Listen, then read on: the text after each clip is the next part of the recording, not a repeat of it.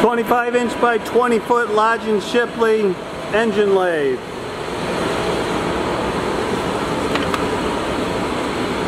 Got about 15 RPM right now. Demonstrating feed both longitudinal and cross, reverse directions,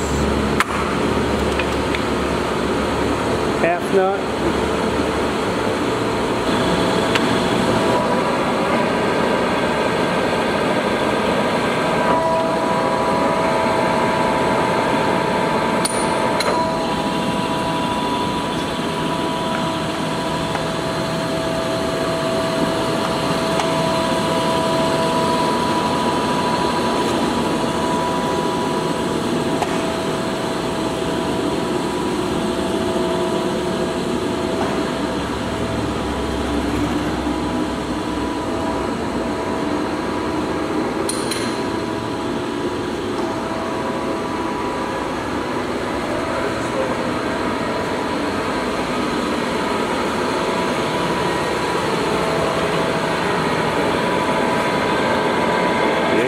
button.